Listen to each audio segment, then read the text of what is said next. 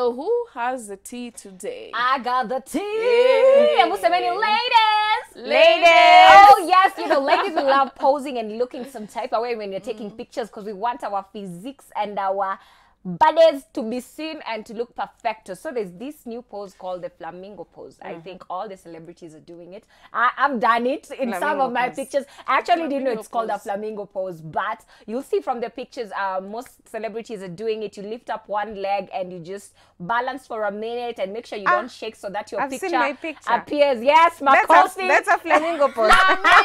we did know. Makosi. So um, there's so many poses that we as ladies love to, to pose when we're taking pictures. And apart from the flamingo pose, pose the, there was also the duck face. But I think duck face ilifika mahali kachoka kidogo. yeah, ili phase out. Yes, can phase out. But for selfies, it still works. eh? Yeah. But um, so everyone has been doing this, Hiya. and now you know the name of the pose. I didn't even flamingo. know. I didn't had even no know the name of the pose. But yes, there you go. If you if you pose that way, it's the flamingo pose. And I guess when you do the flamingo pose, your calves kind of show. yes.